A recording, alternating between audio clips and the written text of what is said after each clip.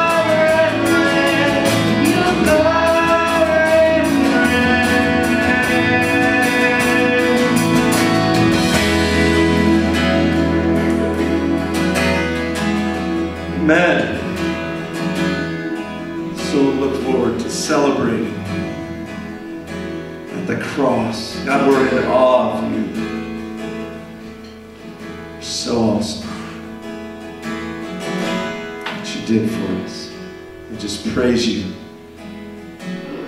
We say thank you, Father. Amen. Amen. You can be seated. Really appreciate you taking time to fill out those surveys. Basically, why we do it, it's an important thing. We do it about once a year. And why we do it is this. We want to see how many people that were unchurched or that had quit going to church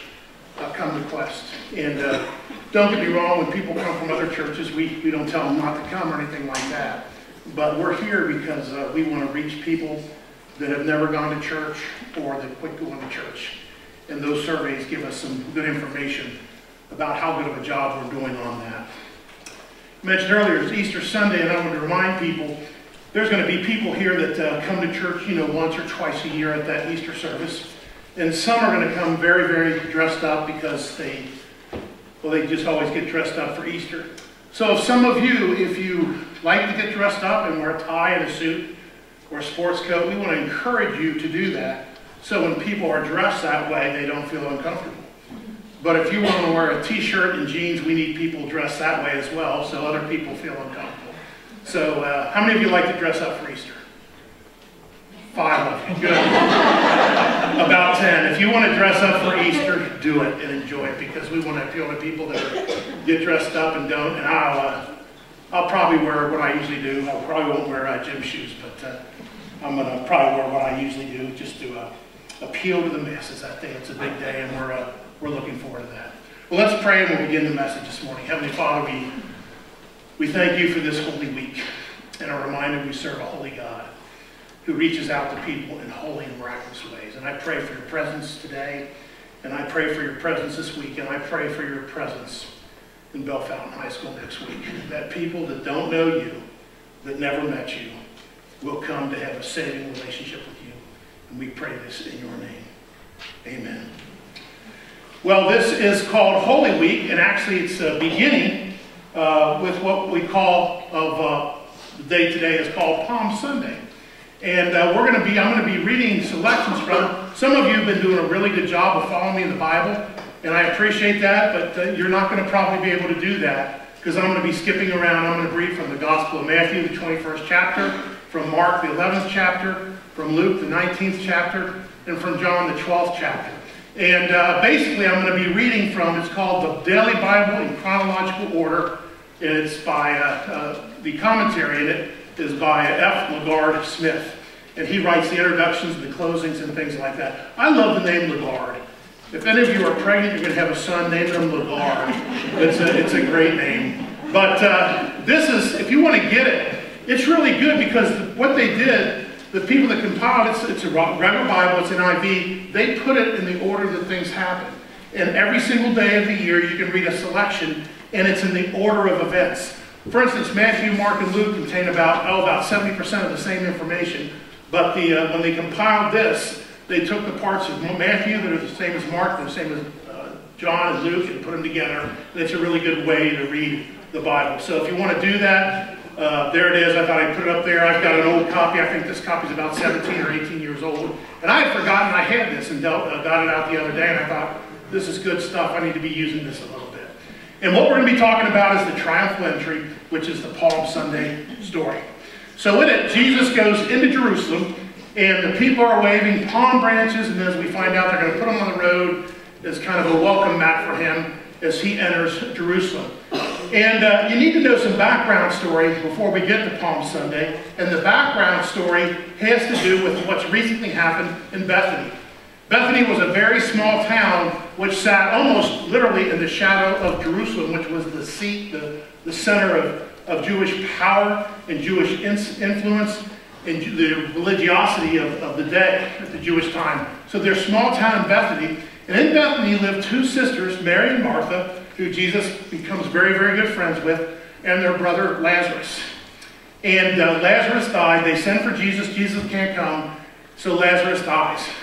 So Jesus gets back into Bethany, and he's met by Mary and Martha, and they're upset. They said, oh, if you could have come, you know, Lazarus could have lived. It's too, it's too late now. And uh, Jesus appears, and he raises Lazarus from the dead. And when he does that, after he does that, we're told this, that the Jewish leaders begin to plot his death. Now, this is the third person that Jesus has raised from the dead. He's raised two other people. One of them was the, uh, there was a person named Jairus who was the head of a synagogue. His daughter had died, and Jesus has raised her from the dead. Another person who was a, a widow had a son, and Jesus has raised this widow's son from the, from the, from the dead. But Lazarus was different. And the raising of Lazarus was different for two reasons. Number one, it occurred in Bethany. And I've already told you, Bethany was right next to Jerusalem. So it occurred basically under the noses of the Pharisees. They would have found out about this immediately. And word would have spread right next to Jerusalem. So in the geographic location that it happened, it was really nearby Jerusalem. The other ones occurred up north in the Galilean country around the Sea of Galilee. But this was right, right there in the middle of things. But more important, the other two people that Jesus raised, one had just been dead for a short time, maybe an hour or two or a few minutes. The other person he raised from the dead within 24 hours. We know that. But Lazarus, we're told, had been in the tomb for four days. Now, the Jewish people believe, and I believe they still believe this, that when you die, the spirit, your soul, hovers over the body for three days. And they have somebody that actually watches the body until the burial, and they don't believe in embalming or anything like that. So if you're Jewish and you die, they usually bury you within 24 hours. So as the, as the spirit, as the soul is hovering over the body, they're watching it. They take the person to be buried. And then uh, after the third day, then the soul departs into the afterlife. So when Jesus raises Lazarus on the fourth day, what it was meaning was this, that Jesus almost reached into the afterlife. He reached into the future to bring this person back from the dead. Once you were dead for three days, the soul was, I mean, it was, you were totally dead. All right? You were as dead as you could get. But Jesus reaches into the future, into the afterlife, and pulls Lazarus back, and the Jewish leaders knew something was different about this person. So they couldn't, they couldn't, they didn't know what to do. And they saw his popularity, and we say, I know what we're going to do we're going to kill him. Okay, we're going to kill this person because he's upsetting our religious apple cart. So I pick up the story actually a few uh, verses before that. It says this Meanwhile, a large crowd of Jews found out that Jesus was there, nearby Bethany, and came not only because of him, but also to see Lazarus, whom he raised from the dead. So the chief priests made plans to kill Lazarus as well on account of how many Jews were going over to Jesus and putting their faith in him. And I love this. The chief priests, okay, Jesus brings Lazarus up from the dead. So what are they going to do to Lazarus? We'll kill him. We'll kill him. And I'm like, if I was Jesus, well, I'm going to bring him up from the dead again. Or we're going to kill him. I'll bring him back from the dead again. And they're having a earthly solution to something that doesn't have an earthly answer. They're going to kill the person who was raised from the dead. And of course, they're going to kill Jesus as well. So now we pick up the story of the uh, triumphal entry. And uh, we're told this. The next day, the great crowd that had come for the feast heard that Jesus was on his way to Jerusalem. They took palm branches and went out to meet him, meet him shouting, Hosanna! Blessed is he who comes in the name of the Lord. Blessed is the King of Israel. And Hosanna means this. Uh, I beg you to save us, or save us, or give us salvation. And what they were saying to Jesus is save us from the Roman tyranny. Save us from our current situation. They weren't necessarily saying save us from our sins, but save us from our predicament. because the Roman rule over that time was very, very strict, and uh, they were beginning to be persecuted.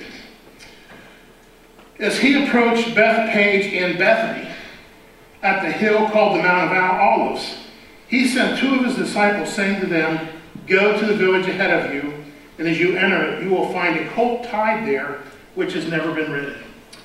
So the Mount of Olives, in fact, when we were Israel, the Mount of Olives is still there today. A lot of the olive trees aren't there anymore, but there are some that are there. And at the base of the Mount of Olives is a garden called the Garden of Gethsemane. So Jesus would have come up around the ridge. He would have been looking over from the top of the Mount of Olives. It would have been really, there would have been tons of olive trees at that time. And you could literally see Jerusalem about a mile away. He would have to descend the uh, Mount of Olives, go into the Kidron Valley, which has a road that still goes to Jericho today, and then you would go up and you would see the temple. So on that Mount of Olives is where he begins his journey, and I'm going to show you a picture of how that looks today. And he gives the disciples the instructions to get a donkey that has never been ridden. Now, anytime in the Bible you get these little facts that don't seem to make sense, they're usually important. And why is it so important that the narrators tell us? The gospel writers say it's a donkey that's never been ridden. Why did Jesus pick a donkey that's never been ridden? I mean, does it really make a difference? Well, it does. And I think what God is telling us through Jesus and what Jesus is telling us through these four gospel writers is this I control the forces of nature. And how, how many of you have been horseback riding? I usually go on vacation with the family. They talk me into riding horses about once every two years. And uh, I can't, I, I, I mean, I do okay riding horses. I fake it, but it's just kind of intimidating for me even now. But I can't imagine getting on a horse or a donkey that's never been ridden.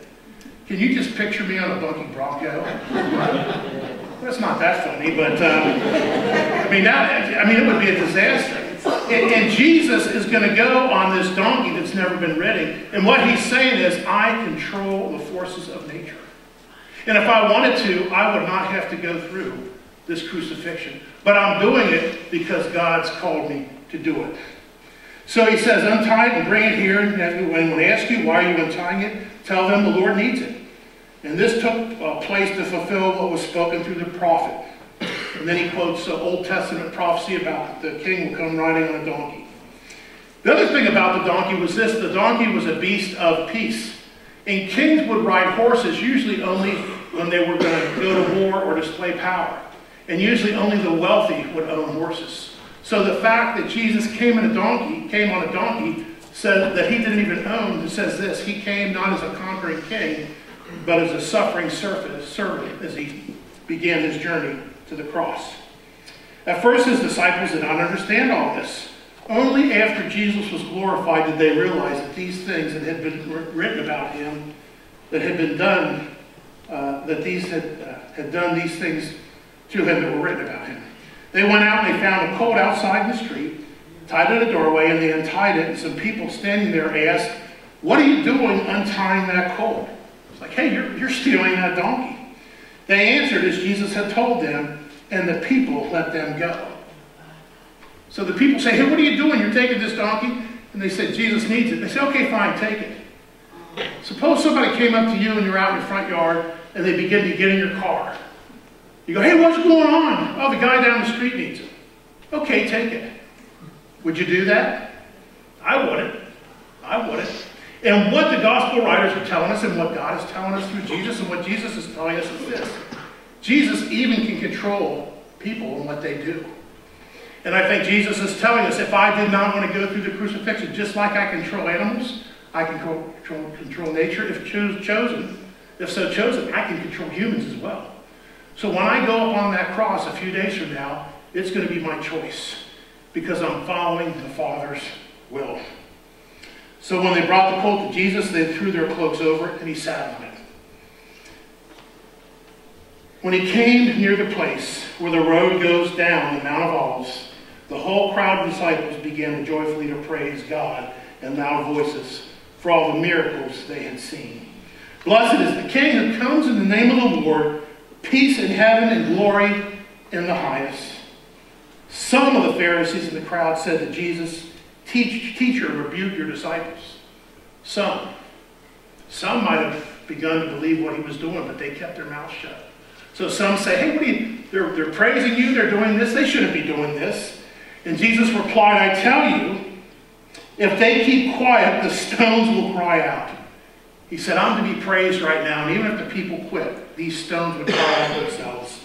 Many people spread their cloaks on the road, while others spread branches they had cut in the fields. So they cut these palm branches, they were waving them at first, and now they begin to put them down the road. Remember we talked about the call of Elisha? When Elijah took off his coat and put it on Elisha and how important your coat was? So they take this, probably the most important thing that they own, and they lay it on the dusty road to honor Jesus as he rides down that hill of the Mount of Olives, going down to the Kidron Valley before he'll begin to go up to see Jerusalem. As they approached Jerusalem and saw the city, he wept. This is the actual road that's there today. And you can see it's a pretty narrow road. It's been paved now. We walked down this road from the top of Mount of Olives down to the Kidron Valley, down past the Garden of Gethsemane, and through the Mount of Olives. And uh, right there in the middle, I don't know if you can see it, there's a roadway, and that's the road that takes you uh, to Jericho today. And in the back, you can see that dome, golden dome. That is the, uh, the Muslim holy place, the church, uh, the dome of, uh, that they worship at, that's been built on the Temple Mount. So when Jesus would have looked at it, he would have seen many of the same sights, except there would have been a lot more trees at the time instead of the Dome of the Rock, the Muslim holy place, he would have seen the temple as he came into this scene and, and saw it. Like I said, you can still go to there, and they think this is the road that Jesus walked because there's this huge ancient cemetery on each side of the road, and the road splits the cemetery. And the cemetery would have been there at Jesus' day. And as the road goes through the cemetery, Jesus would have had to be on that road because he wouldn't have gone to the right or the left that would have taken him to this huge cemetery that sprawls out uh, on the hill. And if he would have gone through the cemetery, it would have made him ceremonially unclean. So he was going because the time that he was going, it was the time of Passover. So there was a double feast going on, and that's why so many people were on this road heading to Jerusalem. And the first feast that was going on was the Feast of Unleavened Bread. And what this feast celebrated was the time that God called the people of Israel out of Egypt. And he did it so quickly, they didn't have time to let their bread rise. So they took their bread along with them, and the bread didn't rise, so it was unleavened, and they couldn't put the leaven in it to make it rise. So that's how the Feast of Unleavened Bread was instituted to celebrate their delivery from Egypt when Moses led them out of the Promised Land. But the Feast of Unleavened Bread began, had a feast within it, and it was called Passover. And that was uh, started the whole Feast of Unleavened Bread. And Passover was the time, during the same time, when God kept telling Pharaoh, let my people go, and Pharaoh refused. Nine different times Pharaoh refused.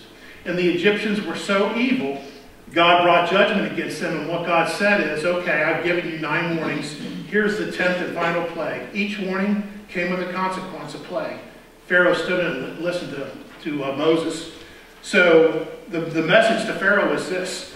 Now God is going to send an angel, uh, a destroying angel, an angel of destruction, who's going to kill the firstborn male in all of Egypt. Not only your children, but your livestock as well.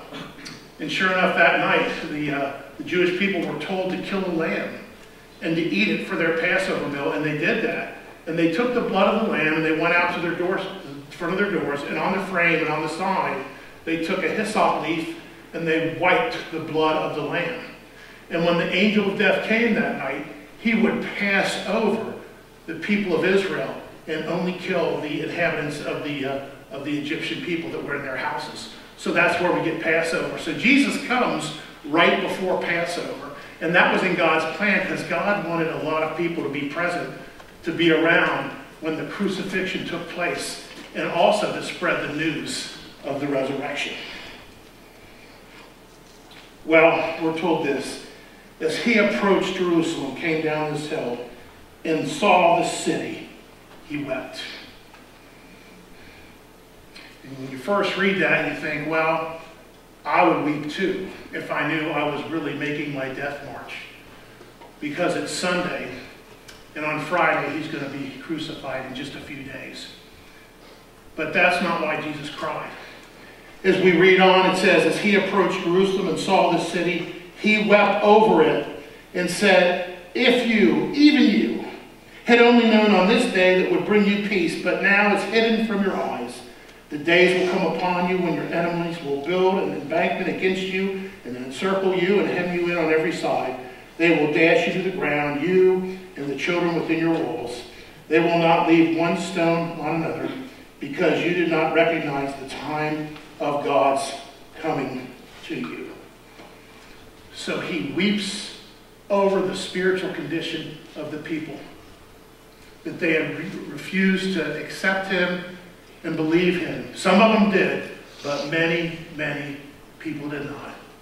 So Jesus looks over, probably from a similar vantage point that you saw on that slide up here, and he looks over the city of Jerusalem, and he begins to weep. You know, when I was thinking of, of this passage as I read over it this week, and I began to think of my own life, I thought if Jesus came today and came into Bill Walker's house, what would he weep over in my life? What are the things that he wanted me to do that I haven't been doing? Who are the people he wanted me to witness to that I haven't been witnessing to? What plans has he had for me that I haven't taken advantage of? Just think if Jesus came back and visited your house, what he would weep over for you and your family today. This week I've had the conversation with two different people who have had loved ones who are very, very sick in the hospital, people they know and love. And both of them shared, both people shared with me how they wish they would have witnessed to somebody in their lives who's now very, very sick. And maybe that's the type of thing that Jesus would weep over as well. It's interesting that Jesus doesn't judge the city. It's not why he's there. He weeps over the city. And I think many times he still weeps over us today. When Jesus entered Jerusalem, the whole city was stirred, and they asked, Who is this? The, crowd, the crowds answered, This is Jesus, the prophet from Nazareth in Galilee. They don't get it. They he say he's just the prophet from Nazareth. Not the Messiah, not the King of Kings, not the Lord of Lords, not the Christ, not the Son of God, just some prophet from Nazareth. Was he a prophet from Nazareth? Absolutely. But he's so much more than that. Now the crowd was with him when he called Lazarus from the tomb and raised him from the dead. Well, they continued to spread the word. Many people, because they heard that he had given this miraculous sign, went out to meet him. Again, they're interested in what he did and not what he can do for them. So the Pharisees said to everyone, See, this is getting us nowhere. Look, look how the whole world has gone after him. They went after him as a prophet, but not as the, the Messiah, the one that could save him, save them from their sins. We're told Jesus entered Jerusalem and went to the temple. He looked around at everything. He looks at the temple and thinks, oh, how the people's religious lives probably have fallen short. But since it was already late, he went out to Bethany with the twelve. And he returns there to Bethany, and he'll use Bethany as his home base, staying there at night and going to Jerusalem every day. Every day until the, crucifixion. We're going to be serving communion in just a few moments. And part of the thing that Jesus did that week was on that Thursday night, he gathered the 12 together. And they, he said, There's an upper room waiting for us. And they found the upper room, and they went there, and they shared their last meal together. And I'm going to be quoting the very words that Jesus used during that last meal as he served his disciples before his arrest and his crucifixion.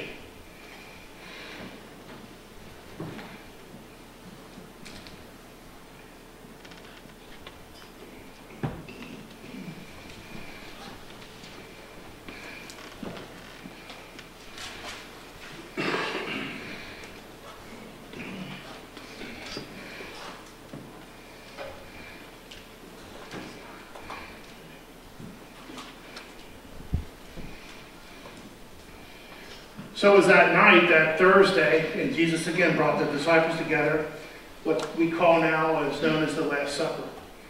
And when he called them together that night, he took the bread and he broke it. And he said, This is my body broken for you. Whenever you take and eat this, do this in remembrance of me.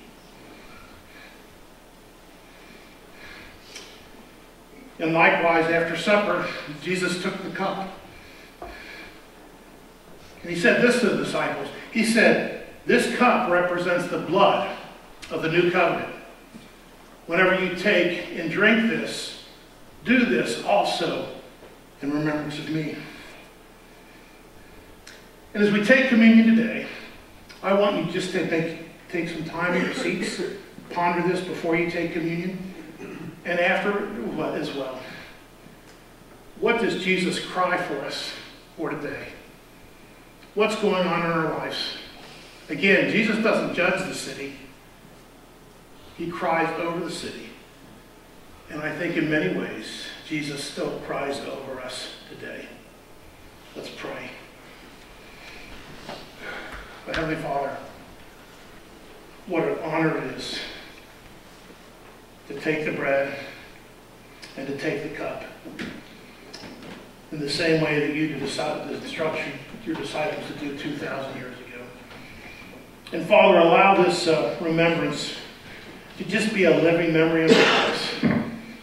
And as we take this uh, bread and as we take the cup, Father, just remind us of the things in our life that Jesus still weeps for us and if there's changes that we need to make, Father, whether they're big or small, allow this to be a holy time. Allow us to get right and do those changes so Jesus would weep over us no more. We pray this in your name. Amen. Communion service will come forward at this point.